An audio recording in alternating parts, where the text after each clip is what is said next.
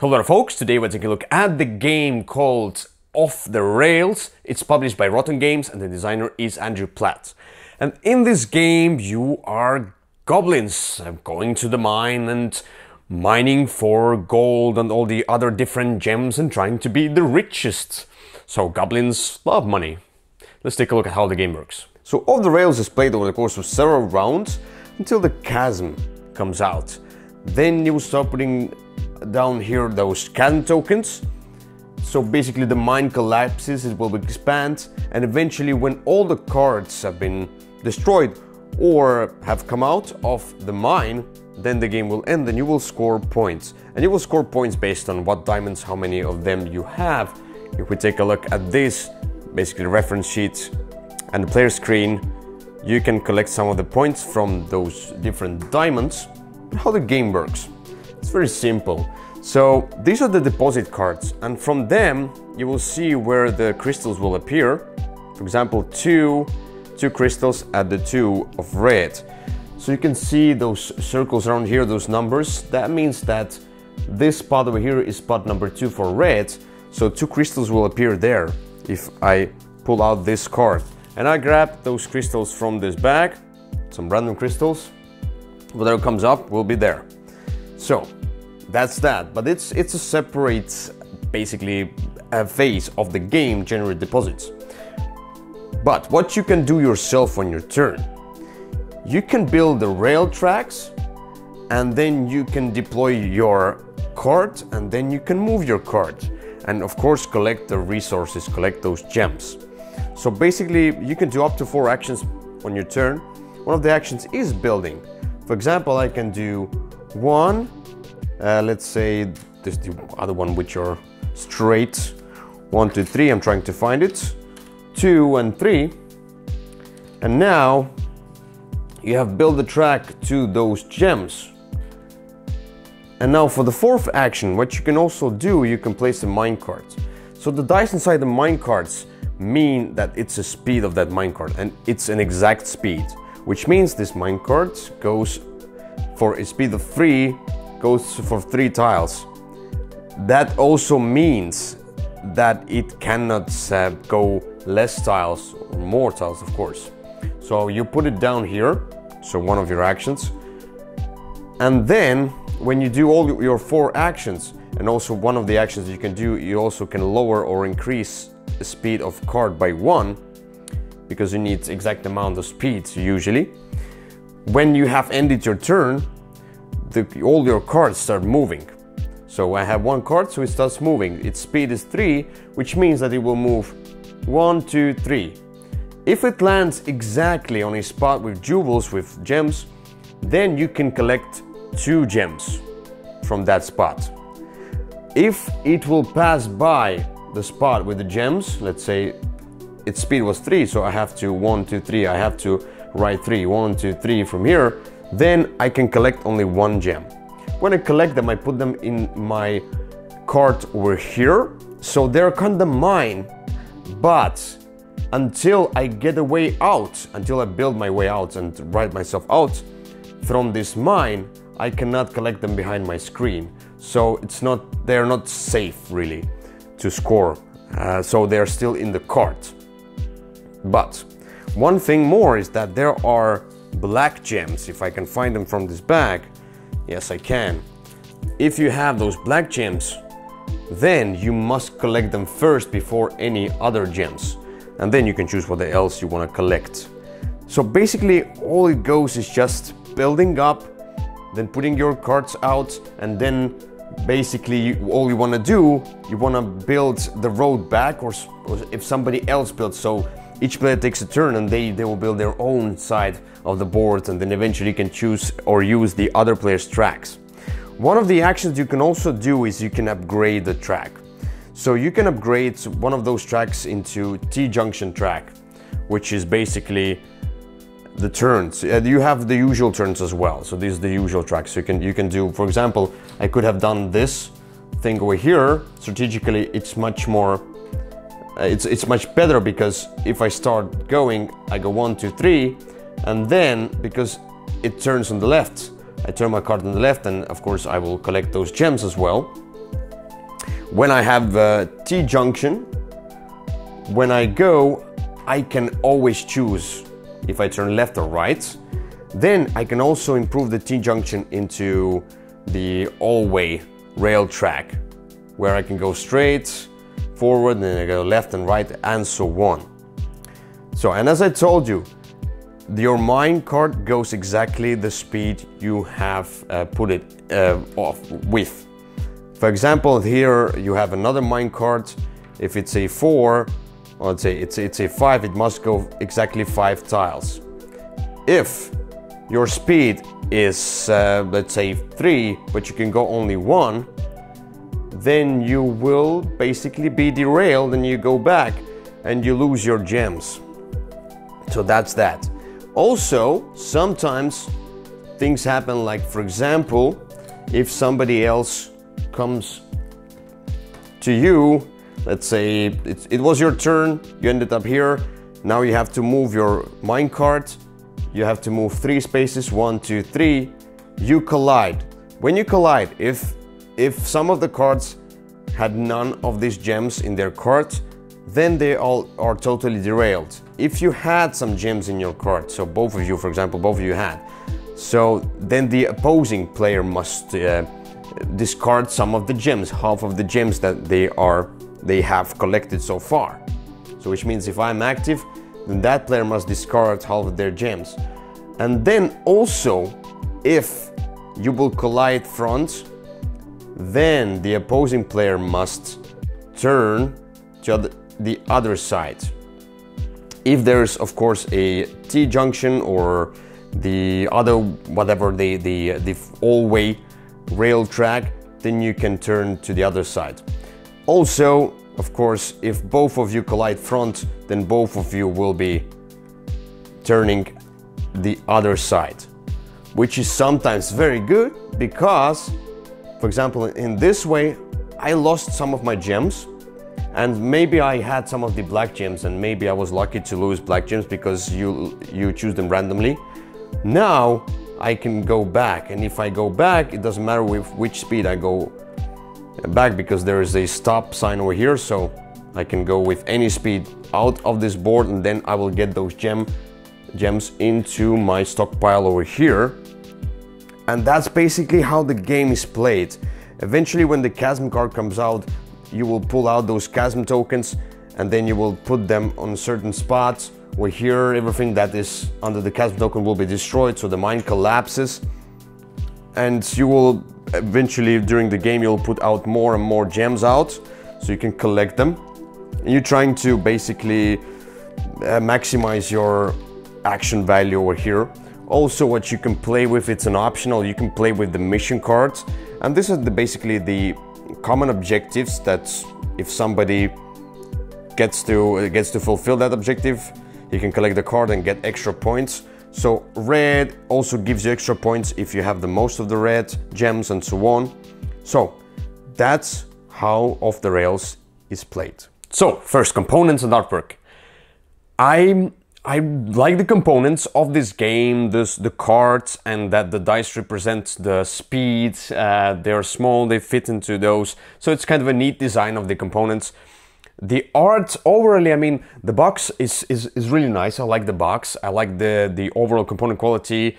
The card a little, the cards are a little bit um, maybe on a thin side, but you, are not holding them. You're just using them to to see what gems are com coming out. The gems are very clearly very different colors so it's totally fine i'm uh, i don't know what else to say except one maybe thing is that the there's a lot of purple uh, and when you look at the board eventually if, if you build up the board you start playing it doesn't really annoy you but at first it really annoyed me that it's so much purple and it doesn't look great if it would have been a little bit more colors, different colors, something like that. I know something different, uh, it would be better. But that's a minor thing, but still it bothers me. Too much purple in this game. Uh, so I give it 4 out of 5 for components and artwork. So the theme. Now, the theme is implemented well into the mechanics or mechanics are implemented well into the theme. Because um, you feel like you are mining because you're going to the mine you are setting up your cart you have the speed so the cart basically starts moving. If you go through the tile you can grab only one gem. If you end on a tile where there are gems you can grab two. So basically yes if you stop you can grab more. If you pass by you, you just run by you just need to grab something fast and that's really cool and when you're mining, there are a lot of just coal or something like that, which is useless resource. Of course, you will get a lot of that unless everything else. So everything feels symmetric and you're building those rails and how they're bumping each into each other and how they turn around and so on. I've, I've, i feel like I'm into into this um, whole thing over there, so it all makes sense. And rules wise as well, of course, the rules are easy to follow it all makes sense as well. Um, the objective cards, let them be. I don't know. It's it's it's an easy uh, game, so there shouldn't be much of a theme. But yeah, I still I still feel like I'm mining for things, and then the chasm appears, and when the chasm appears, yes, the, the the mine starts collapsing, and you need to run away from the chasm and from the collision. So it all feels great uh, with the theme. Uh, so I give it 5 out of 5 for the theme. Now the mechanics.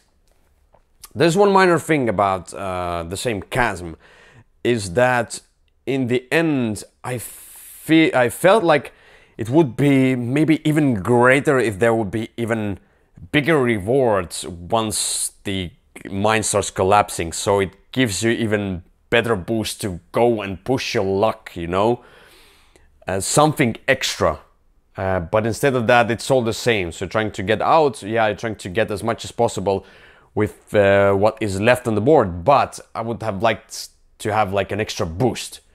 And now, when it's colliding, something totally new appears, and then you can grab it as well and get many extra points. But it's a big risk for you. So that would be really cool. Maybe an expansion. Who knows? Uh, let's let's see. Let's wait and see. But overall, yeah, everything works fine. I really like how the game. Uh, I mean, like, it's it's easy to follow. The turns are, are fast because you have four actions to spend. Mostly, what you're doing, you're building the rail tracks, and you're putting your card down. And then the next phase is your card moving and collecting gems, which is not your action. So basically, you already know once once the turn comes back to you, you already know that oh, I'm gonna build those three tracks and put this card down or I'm gonna build uh, those three, uh, those two tracks, and then I'm gonna decrease my speeds uh, by two or so on. So you already know what you're doing, and uh, of course, if somebody grabs the gems that you wanted, then that's that. But still, the turns are really, really fast. The rules are simple. Everything works totally fine. Uh, one thing is also that at the beginning, it might feel like at the beginning, I really like that at the beginning you're not really colliding with each other because you're starting to build up your rail tracks. But I like how eventually you will you will go towards because uh, the, the, the deposit deck comes out you and uh, it gives you all those gems on the board and at some point not only you but the other player will also go towards the same gems as you wanted and there is a high possibility of collision and I like how it all works together that when you collide front side then you turn around and sometimes you want to collide in order to turn around and then go out of that. So sometimes you have like and I like how if you have gems then you will lose half of the gems. But yeah if you have those coal gems the black gems and you have the other gems there's a risk but still I mean I don't know. Um, you you can you can think about that if you have okay. I have um, two of the black gems. I have uh, the red and the green gem. So I'm going to distribute them between those uh, two hands. So the other player chooses what I discard. Okay, so I'm discard those. And if I'm lucky, I'm going to discard the coal gems. And then I will bump. Uh, but after bumping, I will turn around. And while going back, I can grab extra gems from the spots that I didn't grab uh, first. I mean, like uh, that I that I missed or something like that, and then go out with even more gems. So there's that a lot of strategy going on with how you do the collisions as well, and when and so on. and sometimes you want to get derailed so you, because you can start uh, from the start as well. So yeah, I I like the the whole flow of the game and the interaction. It's not too nasty of interaction. It's a funny interaction, and once you get to the center, more to the center, once you build up more, you have even more interaction. So I totally dig the game. I totally like all the mechanics in this game, and that's five out of five for the mechanics. Replayability. I mean, it totally depends how the gems will come out, and totally depends on what side you're gonna play on a blue or yellow or red, whatever. So there's the certain rule how you basically get get the sides, and and yeah, I'm. Uh, it's it's the the customization, sorry, or the distribution of uh, gems is random, which means that every game is kind of different. It's all the same thing. You're building and you're going for that. Uh, but it's fast, it's easy. So I feel that there's a lot of replayability in this game. And then you have those objective cards that you can spice it up with. And yeah, eventually it's, it, yeah, it has a lot of replayability. So it's 5 out of 5 for replayability scale. Now I feel, as I told you, it's really cool when there's the crowd in the center. Well, once you build up, everyone goes towards the center even more, and you start colliding, and you have a lot of strategy and you know, funny interactions between each other. If you're playing with two players, uh, then there's less probability for that kind of interaction. So the more players, the better for this game. It still works. I mean, it can work for some people who don't like the kind of uh, I don't like that your turn is messed up because somebody collided into you and derailed you and so on. If you don't like that, if you don't like any kind of interaction, you can just play it with two and build your own rails and go your own way and whatever, maybe have a little bit of interaction. So it works totally fine with two, but it's better with three, even better with four. The more people, the, the merrier, the better. In my opinion, the more fun it is. So I'll give it so for me, I would rather play with three or four and not play with two. So I give it four out of five for the scale. So uh, final scoring is 23 out of 25, which earns it a golden Würfel medal. As I told you, I I like the whole implementation to the theme. Everything makes sense. That's the thing. It's not like it's a cool, adventurous, uh, big, big theme out there but it, the, it, it all makes sense. How the cards work, how the collisions work, and so on. I really like that. I like the interaction uh, between the players if there are more players. I like how simple it is, how fast it is, how kind of family friendly it is. Minor things about the purple thing and so on, let it be. But overall, in my opinion, it's a great game. Uh, oh, one thing about the components I didn't mention is that uh, why I subtracted uh, a total one point from there as well is that because I feel like the insert is it's fine it's not it's not unfunctional but it's not completely functional. I feel like it could have been even better insert but there's an insert. That's uh, that's cool. And yeah overall everything works fine. It's not a biggest box. It kind of I don't know it has enough room in the box. It has um, enough game in the box of that size.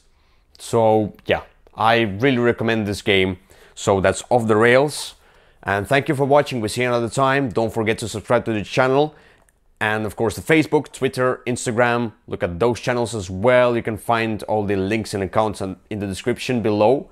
And we see you another time. Bye bye. This channel is sponsored by Osprey Games. Check them out at ospreypublishing.com.